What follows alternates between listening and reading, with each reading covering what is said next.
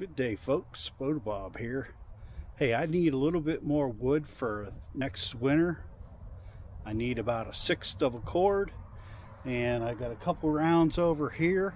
We're to split them up today. Man, it's a beautiful day here in central Pennsylvania.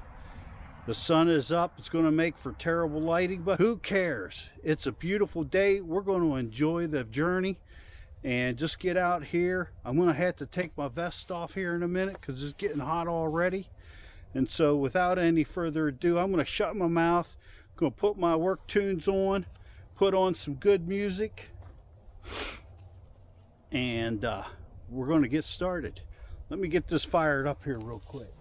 Let me get some uh, rounds on the uh, staging area.